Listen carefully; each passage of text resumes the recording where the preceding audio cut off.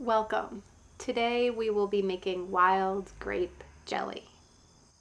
As always, ensure that you are using multiple sources to identify your grapes, as there are some look-alike vines, for example, the Canadian moonseed.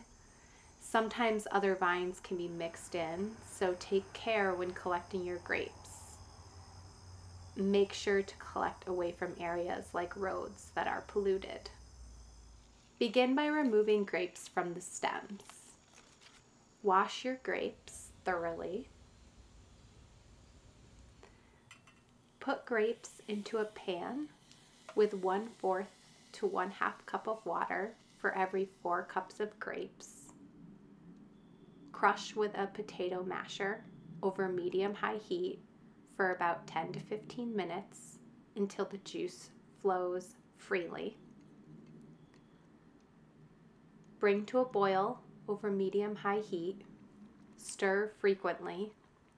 Once boiling, reduce heat and gently boil while continuing to crush grapes, about 10 to 15 minutes. Continue until grapes are softened. Take the grapes off the heat and strain mixture to remove seeds. This can be done using a fine strainer. A dampened cheesecloth can be used to squeeze the remainder of the juice. Leave the strained juice overnight in the refrigerator, which will allow the sediment to settle to the bottom. In the morning, pour off the juice carefully, leaving the sediment on the bottom, and discard the sediment. Put the juice in a saucepan over medium high heat and bring to a boil. When boiling, add sugar and bring back up to a full rolling boil. Boil quickly, stirring continuously. In order to determine when it is done, use the candy thermometer. Bring the mixture up to 220 degrees.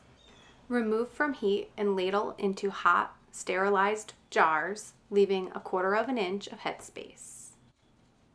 I am a beginner when it comes to canning, so to get the precise canning instructions, I would recommend using a resource other than this.